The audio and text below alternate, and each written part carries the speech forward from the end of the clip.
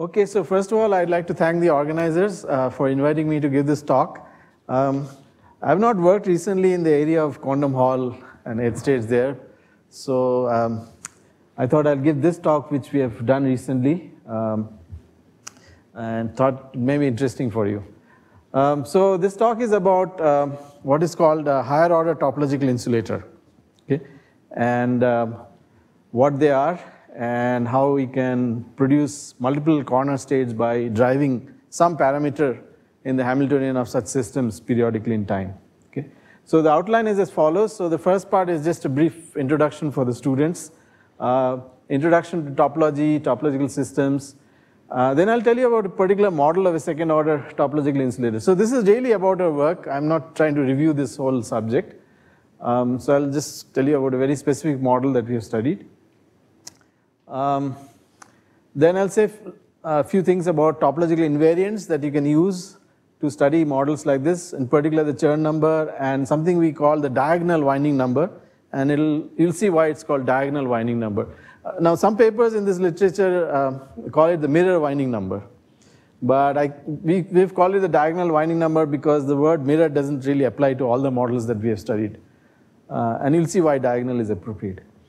Um, then I'll tell you about uh, anisotropic model. Um, and then how you can generate uh, multiple corner states. So at each corner on a square, you can generate more than one state by periodic driving.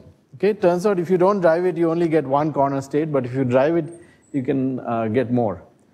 And then um, uh, something interesting, which is that you find that there are topological phase transitions in this model, and you can actually pinpoint the momenta which correspond which produce those phase transitions. Okay? Um, so I'll tell you about that at the end. And so the entire talk is based on this paper um, written with Ranjani Seshadri, who was a PhD student in IISc. She's now um, in McGill University. Uh, Anirban Dutta, who is a postdoc in IISc, and me. Okay. And we are currently fighting it out with the referees of PRB. Okay. So what is topology? Um, so it's a branch of mathematics where we study certain properties which remain the same if you make certain small changes in the system. And I'll give you an example right away. And if you can define an integer which remains the same under these small changes, we call it a topological invariant. Okay? So the simplest example is the following. So suppose you have a plane and you consider a closed curve, a loop in the plane, and there is a particular point in the plane, let's call it the origin. Then there are a number of times the closed curve winds around the origin in, let's say, the anti-clockwise direction. It's called the winding number, and that's a topological invariant. Okay, so here's an example. So this curve winds around um, the origin once, anti-clockwise, so it has winding number of 1. This goes clockwise, winding number minus 1. This is winding number 1. And you can see that after a while, it can get pretty hard to just make out by looking at the curve what the winding number is. So there's a mathematical formula for figuring out the winding number given the curve, uh, which I won't, I won't tell you that formula right here. I probably will tell you later. Okay, now it's clear that this winding number cannot change unless the curve passes through the origin. So if you deform the curve a little bit, making sure that it doesn't go through the origin, the winding number doesn't change. So that's so it's a topological invariant in that sense. Um, so since the topological invariant is an integer, so this was pointed out yesterday as well. It, cannot change slowly if you make some small changes, right? If it's an integer, so it's 0, 1, 2, 3, etc. Uh, it cannot be 1.1. Um, so that's why it's an invariant under small changes. The only way for a topological invariant to change is if it becomes ill-defined at some point. Okay, so for instance, here is a curve which has winding number plus 1 around this origin. And then you move this curve then at some point when the curve goes to the origin, suddenly the winding number is not defined. And then you move the curve a little bit more, the winding number has become zero. So it's well defined everywhere except at the point where it's passing through the origin. Okay. Um, now in condensed matter systems, topological uh, you call something a topological if it has the following properties typically. So the bulk of the system is gapped. Uh, so there's a finite energy gap between the ground state and the first excited state. Uh, so it's an in insulator at low temperatures, temperatures far below the gap. Um, the bulk band structure should be characterized by some topological invariant, which is a non-zero integer, as I said. there are gapless states at the boundaries of the system, and they contribute to the electronic transport. Okay? Um, and then, very importantly, there is this correspondence between the bulk structure and the boundary structure. So the, it's called the bulk boundary correspondence. The number of boundary states with a given momentum or other quantum number is equal to the topological invariant, which means that it doesn't change if you change the parameters in the Hamiltonian a little bit or if you put in a certain small amount of disorder which satisfies some symmetries. Okay, okay so here are some uh, well-known review articles on this subject. Yeah. That's true. Yeah. Yes. That's true. Yes. Yes. Um, yeah, so what you're saying is that, uh, yeah, you can have extra states at the boundaries which, in the presence of a perturbation, would gap each other out. And so the uh, minimum number that you have which survive under uh, some perturbations is, is what you would call the, uh, the number which corresponds to the bulk topological invariant. Okay, now the usual topological insulators that we are used to are now called first order. Okay, so the uh, so if, if you take a topological insulator in d dimensions, um, uh, the standard first order topological insulators would have the bulk states gapped, and the boundaries which would be d minus 1 dimensional would have gapless states. Okay, so this has now been generalized to the idea of higher order topological insulators. So for instance, the second order topological insulator has a d dimensional bulk and a d minus 1 dimensional boundary which, are, which both have gapped states. But the d minus 2 dimensional kind of boundary of the boundary has gapless states. So for example, if you have a second order two dimensional topological insulator, uh, what that would mean is that the bulk, which is two dimensional, the edge states which are one dimensional are gapped, but the gapless corner states. Okay, so here's a picture of a corner state. This is actually from a paper. Um, Similarly, you can have a two, second order three dimensional topological insulator where the three dimensional bulk and all the surfaces are gapped, but the edges, the hinges, have gapless states. And it's actually believed that there's a system like that. Uh, tin telluride, SnTe, is an example of a second order three dimensional topological insulator which has gapless hinge states. Okay, okay so now let me jump straight into uh, what we have done. So we have looked at a model for a second order topological insulator. Uh, so our model is actually inspired by something that was written down in three dimensions in this paper. This is also the paper that tells you about tin telluride and why they think it's a second order topological insulator. Um, so the model is as follows. It has four bands, spin and orbital degrees of freedom. And there is, it looks very much like the uh, BHZ model, the Bernevig-Hughes-Zhang model. So there's a um, term proportional to the orbital uh, degree of freedom tau z. Um, so m plus t naught cos kx plus cos ky. Then there's a part which is proportional to this, um, which depends on tau x and the spin degrees of freedom sigma x, sigma y. And so just these two, the first two lines would describe the BHZ model. So the new thing that we have added, which is basically analogous to something that Schindler et al. did in three dimensions, is that we added a term like this, cos kx minus cos ky, and it's in a direction which anti-commutes with the first three operators. So all these four operators, right, tau z, tau x, sigma x, tau x, sigma y, tau y, they all anti-commute with each other. And all of them square to the unity, identity matrix. Okay, so, um, so T0 is some spin independent but orbital dependent hopping. So this is proportional to tau z. Delta 1 um, de denotes some kind of spin orbit coupling and delta 2 um, is an extra term that we have added and it turns out delta 2 is a term that uh, gives rise to corner states. So if you don't have delta 2, you just have the first two lines, then you get, it's a usual topological insulator with gapless edge states. But then when you turn on delta 2, it turns out the edge states get gapped out, but they leave behind states at the corners of a square lattice, for example. Okay, so uh, a word about the symmetries of the model. So, um, um, so if you don't have delta 2, then just the first two lines, then this is symmetric under rotations. So imagine you have a square lattice. So this is symmetric under rotations by pi by 2 and also time reversal. Okay. The last term uh, clearly breaks uh, rotation by pi by 2 because cos kx, cos ky have opposite signs. So if you rotate by pi by 2, kx and ky get interchanged. So the last term breaks C4. It also breaks uh, time reversal. So under time reversal, you know, you have to do complex conjugation and multiply by sigma y. So uh, this breaks time reversal. But it turns out that this term um, maintains the product of C4 times time reversal. So that the combined um, uh, operator is a symmetry, continues to be symmetry. Uh, now the spectrum of this can be easily found out and it's given by plus or minus the squares of these four quantities. And that's because, you know, these are like four anti-commuting matrices. They're like the Dirac gamma matrices, four anti-commuting matrices and each of them squared to the identity. Uh, so this is the ener exact energy spectrum and each energy level has a double degeneracy.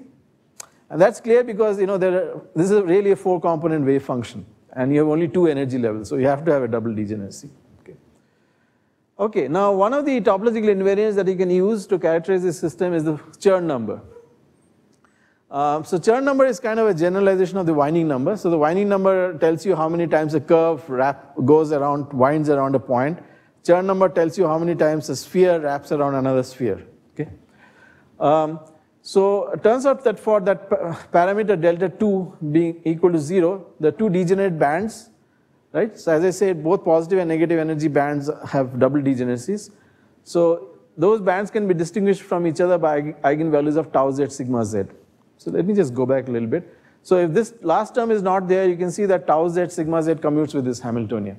And so that you can use that to characterize, to label all the states. Whereas if this term, last term is present, tau z sigma z is no longer a symmetry of the system.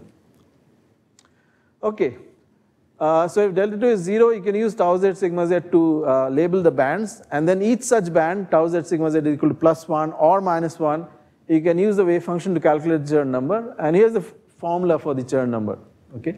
Um, so it's an integral over the full Brillouin zone, imaginary part of something. Uh, this, you can relate this to the Berry curvature, and then uh, the curl of the Berry curvature is the Chern number, okay?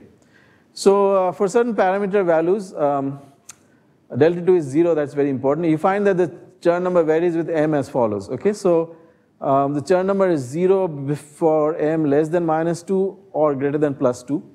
So those are non-topological phases. And then it's non-zero between minus 2 and plus 2. Uh, so in general it's minus 2 t naught plus 2 t naught. Okay. So in between minus 2 and plus 2, it's uh, plus 1 here, and then it jumps by 2 and becomes minus 1. Okay, so these regions A and B are the topological phases in this system. Sorry. Yeah.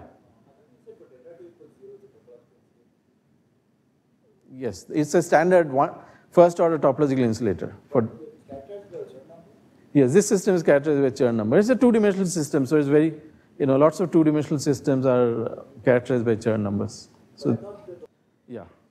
So uh, yeah, I should have said that. So the these uh, lines, I'm, these Chern numbers are, are, I'm showing are for negative energy bands with tau z sigma z equal to uh, yeah plus or minus one. So plus one is the blue line and the minus one is the orange line. You can see they're opposite of each other.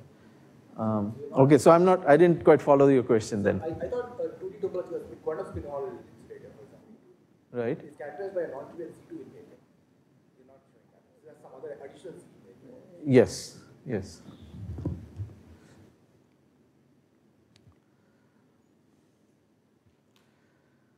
Okay, so as I said, um, so uh, the A and B are the topological phases, and there you have gapless edge states. Uh, and when you have gapless edge states, they exist on all the edges of a square. Okay, um, and um, outside this region, you have non-topological phases, and there are no edge states. Now the jumps in the Chern number occur when the band gaps close. So you have this positive energy band and a negative energy band. And typically when you have a topological phase transition, the gap between those two close, closes. And that happens at certain momenta. Okay? So, um, so for instance, you can see that the gaps will close at the momentum 0, 0 and pi, pi. Okay, so let's go back. Uh, if you look at this expression, it's clear that, you know, if at zero, momentum equal to 0, 0, the gap will close if m plus twice t naught is 0. So m is equal to minus 2 t naught. Uh, and if you are at pi pi, then the gap will close when m is equal to plus 2 t naught. Okay? So that's a simple explanation of why these are the phase transition lines. Also at 0 pi and pi 0, the um, the critical point for m is m equal to 0, and that you can see from here. Um, 0 pi or pi 0, these two cancel. So m equal to 0 is the critical point. Uh, at all these four points, uh, this term is 0, right? Sine kx, sine ky. Now, an interesting thing is that um, at 0, 0, um, that's just one value of the momentum. So when you have gap closure there, the Chern number just jumps by 1. And similarly at pi pi. Whereas at m equal to 0, you're simultaneously getting gap closures at two momentum points. So the Chern number jumps by 2 there. Okay, so it jumps from plus 1 to minus 1 or vice versa. Okay, so we can actually um, correlate the, the amount of jump or amount of change of the Chern number to the number of momentum points at which the gap is closing. Okay, now, uh, so I'll keep repeating this Hamiltonian just to remind ourselves what it looks like. It turns out that for delta 2 is not equal to 0, then this thing is no longer a good quantum number, and you can no longer distinguish between the two degenerate bands. And it turns out you can't calculate the Chern number in that case. Okay, so the Chern number is only calculable when this parameter is 0. Now it turns out that there's another winding number, uh, there's another topological invariant which we call a diagonal winding number, which can be calculated for all values of delta 2. And so here it is. So this is the Hamiltonian. Um, now in general, as I said, this is the sum of four anti-commuting matrices, so it's not possible to define a winding number in general. Because to define a winding number, it has to be a winding number in a plane. So you need something with only two parameters, which will vary as a function of some momentum. So if you have four different parameters, it will be a curve in four dimensional space and Typically, you cannot define a winding number for that. However, uh, if you look at this Hamiltonian, then you see that on the diagonals, either kx equal to plus ky or kx equal to minus ky, the Hamiltonian simplifies a lot. Uh, so first of all, the last term vanishes, and it's independent of delta 2. So the last term just goes away. Um, the first term here, so it's, it becomes just twice cos kx. And this term here is the sum of two matrices, but sine kx is the same as sine ky, plus or minus, depending on which diagonal you're on. So you can combine these two matrices. So on these diagonals, the Hamiltonian effectively becomes a sum of just two anti-commuting matrices. And so you can say that these two coefficients will define the coordinates of a point in a two-dimensional plane. Okay, so we now have a winding number of a closed curve in a plane whose points have these coordinates. And this kx goes from minus pi to pi. So you're basically going along the diagonal from minus pi, minus pi to plus pi, plus pi. Okay. So for t, so again for certain parameters, the same parameters for which I showed you the Chern number before, the winding number varies with m as follows. Okay. Now it looks quite similar to the variation of the Chern number, except that it's you know it just goes from zero to one and then comes back to zero. It doesn't go to the other side. But if you just see where is the diagonal winding number 0 and non-zero, those regions are exactly the same as where the Chern number is 0 or non-zero. Okay. Um, so now the corner state. So it turns out that when delta 2 is not 0, the Chern number cannot be calculated as, as, as I said, but the winding number remains the same. In fact, the winding number is completely independent of the value of delta 2. Uh, now in this region, minus 2 to plus 2, where the winding number is one, equal to 1, you find that uh, there's a gap of order delta 2 which opens in the spectrum of the edge states, and a gapless state appears at each corner of a square lattice. Okay, so here's a picture of the full energy spectrum, just to show you all the different kinds of states that there are. Okay, so these uh, black lines, continuous black lines are the bulk states. Then these red lines are the edge states. And you can see that they've got a small gap in the middle, and that's because we have a small delta 2, which is 0.1.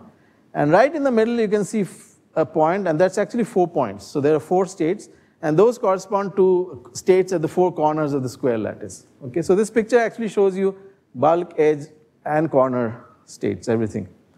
Um, so 25 by 25 sites, and remember it's a four-band model, so 2,500 states. And here's a picture of a corner state. Um, are four corners, one, two, three, four. Uh, so I'm showing you one particular corner state. There's a similar one at every corner. An interesting thing about this corner state, so there's a probability, mod psi squared.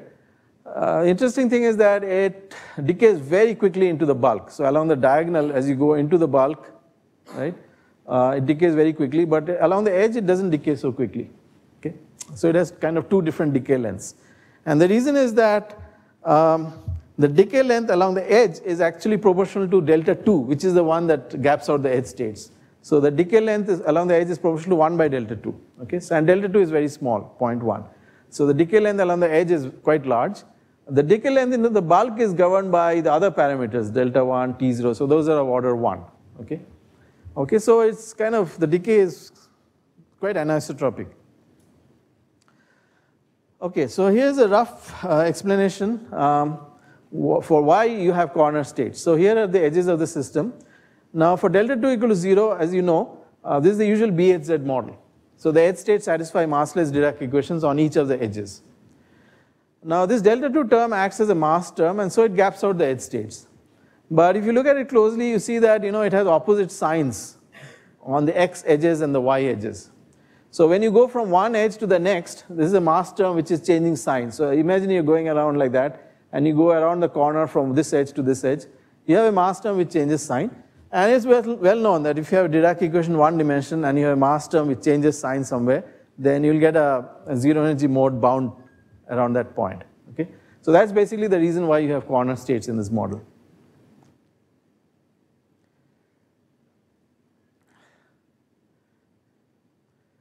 Um, by the way, I mean, students should feel, uh, anyone should feel free to ask questions at any point.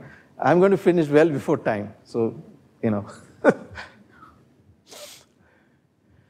um, now, you know, the, as I said earlier, the, the model that I dis discussed earlier has uh, Winding number and Chern numbers being zero and non-zero at more or less the same, at exactly the same regions. So just for variety, we decided to look at another model. Um, this I think has not been discussed before, but we looked at another model which is anisotropic, not completely anisotropic, but partially anisotropic as I'll explain. So what we have done in this model is that earlier you had this hopping T naught which had the same value for cos kx and cos ky. So let's just allow them to be different and see what happens. Um, sorry?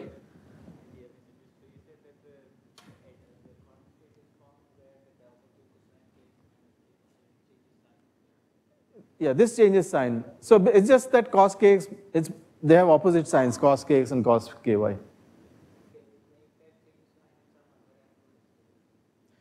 Yes. Right, so there's a recent uh, paper on the arXiv where people have studied um, a graphene-like model and um, they have shown, which is on a hexagonal lattice, a big hexagonal lattice. And they have shown that you can get corner states there at all the six corners. Or does it have to be corner? Yeah, for example, cos square It doesn't have to be corner. I guess if it changes sign anywhere, you can get a state appearing there. It doesn't actually have to be corner. But yeah, but what I wanted to say, it doesn't have to be a square. It can be any, uh, any shape. Now, um, I think the following is true though. Uh, so we have tried looking at triangles and you don't get corner states there. So somehow it seems to be important to have an even number of corners. Um, and it doesn't have to much to do with the lattice. It more um, has to.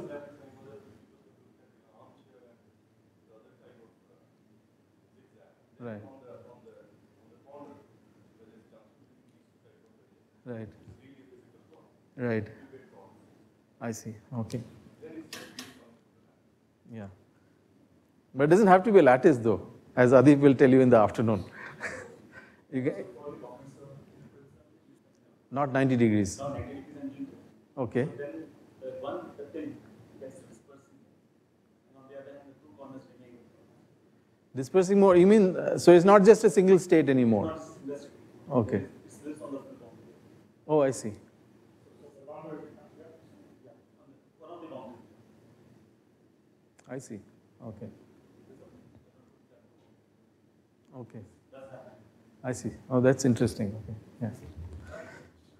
Yeah. Um, so, you know, if, when you don't have delta 2, you have these two degenerate bands and they have equal and opposite Chern numbers, say plus 1 and minus 1. Now, when you do have delta 2, these bands get mixed up. And so you discover that, you know, you try to calculate Chern number and um, so the bands are still there, but they, since they're mixed up, um, it's not clear. So suppose you're trying to find the Chern number numerically, right? You calculate the Berry curvature and then you calculate the Chern number from there. So this basically the numerical program gets completely confused because it sometimes it picks one linear combination, sometimes picks a different linear combination, depending on where you are in the Brillouin zone. And you find that you know it just it, the Berry curvature actually makes no sense. It just jumps all over the place. Not in this model, as far as I know. Yeah.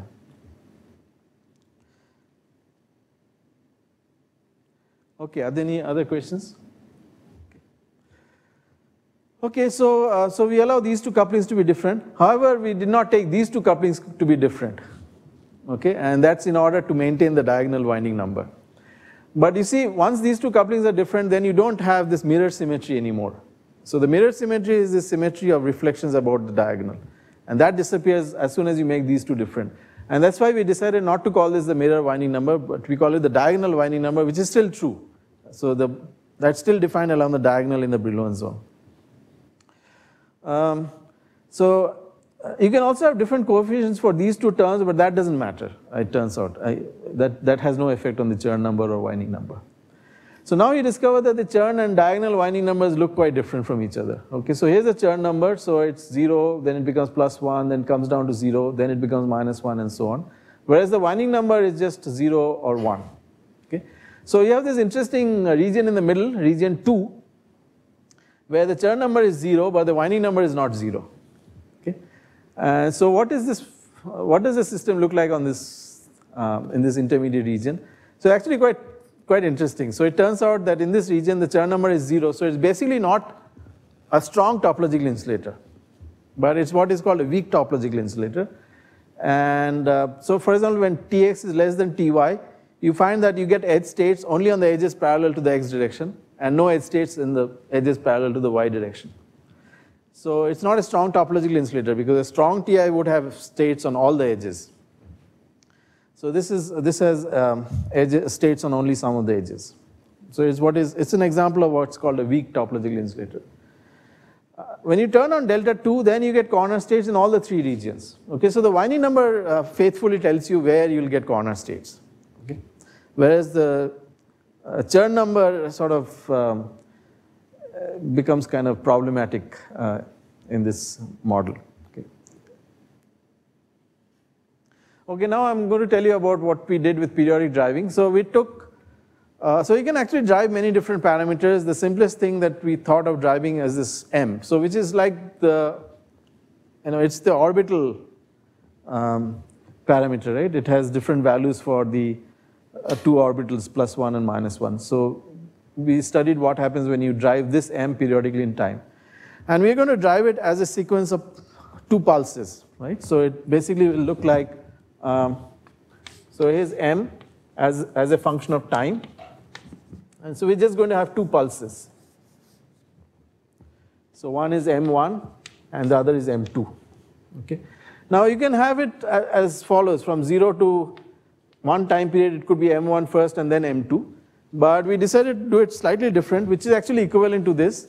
We have it as m1 for the first one fourth of a time period, then M2 as for the next half time period, and then M1 as the last one fourth. It's really the same as this under a time shift. Okay? But it turns out that this has a little more symmetry, and that helps us in certain ways. Oh, no, no. No, no. So it turns out when you turn on delta 2, you get corner states at all the four corners. Just as for the isotropic model, the corner states, when they appear, they appear in all the four corners.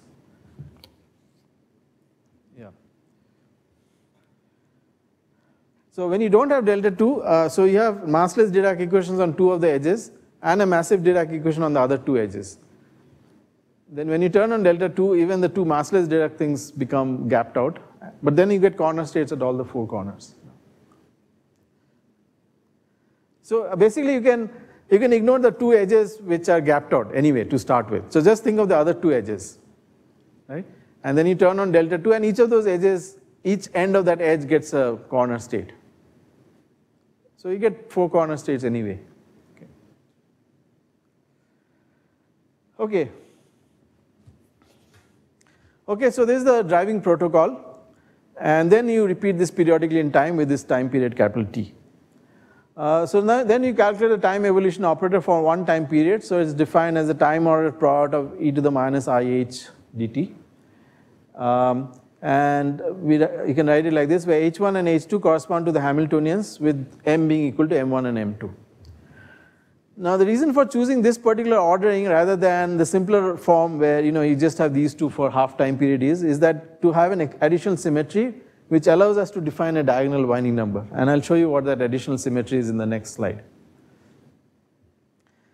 Okay, so again for delta 2 is 0, we can use tau z sigma z to distinguish between the different bands of eigenstates. So these are now Floquet eigenstates of that operator UF. And then we can calculate the Chern number and again for delta 2 not equal to 0, you cannot calculate the Chern number. Now, now for the um, winding number. So you find that for any value of delta 2, the driving protocol that we have used, this half, quarter, half, quarter, implies that this is a symmetric matrix, okay?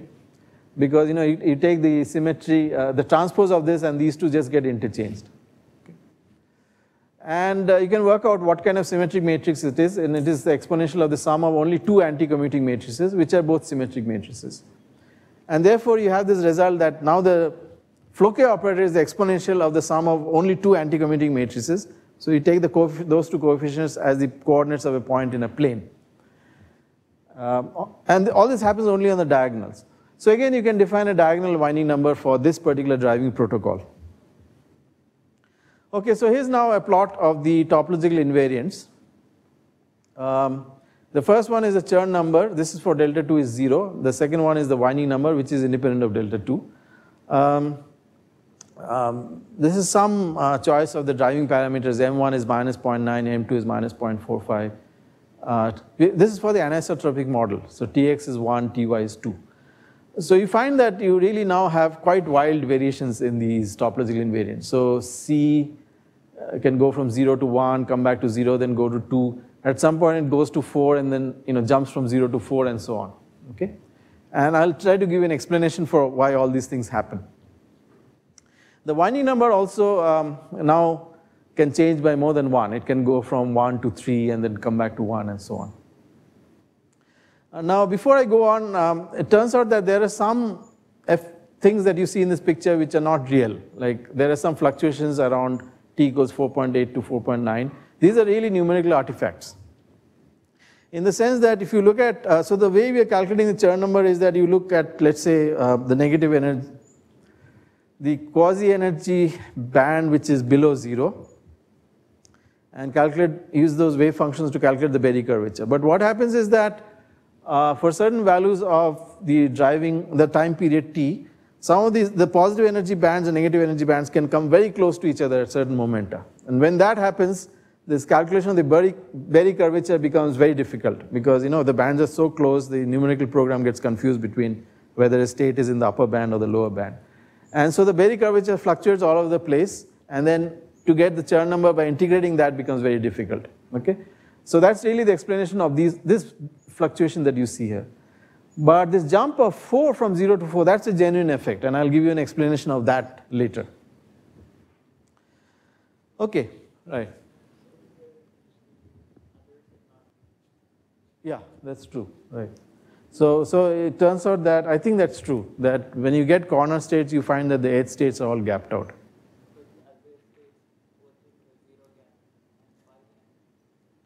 Yeah, yeah, sure.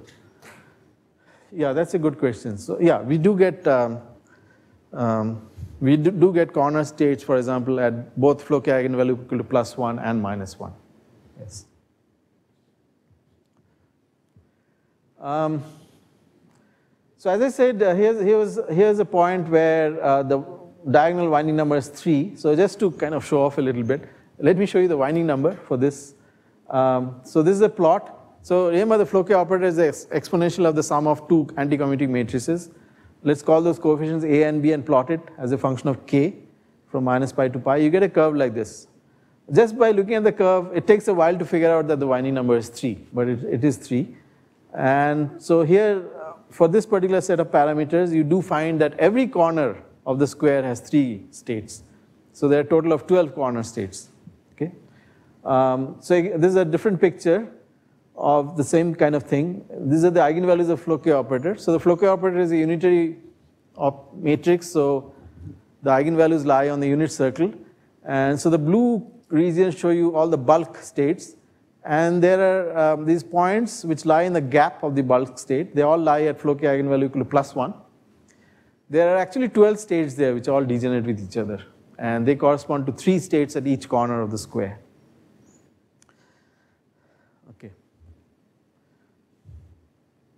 Now, uh, so the last thing that I wanted to talk about is why do these jumps in the topological invariants occur? Okay. So is there a way to figure out at what values of t you will get these jumps? Uh, so these jumps clearly uh, stand for some kind of topological phase transitions.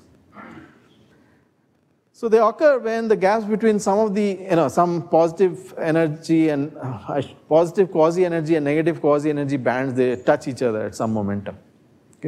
Because when that happens, then, um, you know, you cannot calculate. Um, so that's the point where the Winding number becomes ill-defined. Okay, so that they, so these jumps occur when the Floquet operator becomes equal to um, plus or minus the 4 by 4 identity matrix. Remember that you know this U is a 4 by 4 matrix as a function of the momentum. Um, I probably didn't clarify this. So when you calculate winding numbers or Chern numbers, you have to calculate it in momentum space. So then U is a 4 by 4 matrix. Whereas when you calculate, um, when you're trying to look for edge states or corner states, then U is the Floquet operator of a square lattice, so then it's a huge matrix. You know, 25 by 25 uh, lattice, it will be uh, 4,000 dimensional matrices. So right now I'm talking about U in momentum space. So, um, so these jumps will occur when it's equal to plus or minus the identity matrix because that's when the uh, eigenvalues of U are degenerate. So you have this touching of the uh, different eigenvalues of U. Okay, so the question eh, now becomes uh, at what values of k does the Floquet operator become equal to plus or minus identity matrix? So first thing to look at uh, is the special momenta which are all time reversal invariant. So 0, 0, 0 pi, pi, pi 0, pi, pi. It's all time reversal invariant because k and minus k are the same. Uh, so here the degeneracy condition can really be found analytically. So if you put delta t equal to 0, then the Hamiltonian has this form. And if you look at these um, four points, then uh, you discover that this h1 and h2, which correspond to m1 and m2, two different values of m, they commute. So you can write this entire thing as the exponential of a single matrix, and just you know put in these values of k, you'll find that these are the conditions for when this thing becomes equal to e to the power i n pi, so, so that it's plus or minus the identity matrix. So just this simple condition will tell you what are the values of t where you expect jumps uh, or these topological phase transitions or jumps in the Chern number. And this explains the location of many of the jumps that you see in the Chern number. So, so many of them, most of them in fact are explained by these, these two formulas. Now what is uh, kind of unusual in this system is that you discover that there are other values of k where there are no particular symmetries, where also you can get jumps in the Chern number. Uh, so, so again, since we are talking about the Chern number, we have to put delta 2 equal to 0. So this is the formula. And now generally h1 and h2 don't commute with each other, right, for arbitrary values of kx, ky. So the only way this will be equal to I, I, the identity matrix is if these two factors separately are equal to the identity matrix. So that means that this um, k has to satisfy two conditions simultaneously, which correspond to this one and this one separately being equal to the identity matrix. So you get these two conditions. Okay, so the idea is that if you can find values of kx and ky for which these are both satisfied, where n and n1 and n2 are some integers, then that will tell you uh, other points where Chern number can show a jump. Okay, so it turns out the simplest solution of these equations that I wrote down here is for n1 and n2 equal to 1 and then you can really simplify those equations and you get these two conditions on kx and ky. Now it turns out that because this is an equation for cos kx, kx can take two values, plus or minus, and independently ky can take two values. So you have four possible values of kx, ky satisfying these equations. And uh, so there are four momenta points at which the uh, the quasi-energy band is gap is closing. And this explains the jump of 4 in the Chern number. And you can see from here, you, can work it out. You find that it tells you that you should get a jump of 4 at the time period 4.49, which is exactly this, this jump from 0 to 4. Okay, so let me summarize. Um, so we have basically, I've told you about two models, isotropic and anisotropic versions of the BHZ model. Uh, but then you add this extra term delta 2, which, can, uh, which turns it into a second order topological insulator with corner states. There are two topological invariants you can use to characterize these systems. There's a Chern number and there's a diagonal winding number. The Chern number is defined only if this parameter delta 2 that we introduced is 0, and it gives the number of gapless edge states. The winding number gives the number of gapless corner states when delta 2 is not 0. Uh, for the anisotropic model, as we saw, the regions of non-zero Chern number and non-zero diagonal winding number don't coincide. Um, exactly the same uh, invariants, Chern and diagonal winding numbers can be used for the periodically driven system. And the winding number here can be larger than 1. It just depends on the parameters of the driving, the amplitude of driving M1, M2, and the time period and so on. And so the number of states at each corner can be more than 1. And the jumps in the topological invariants, which indicate phase transitions can occur at either the time reversal invariant momenta, which is the usual story, but they can also occur in momenta which have no special symmetries. Okay, so that's basically the summary of the work, and this is the, um, the arXiv number. Thank you.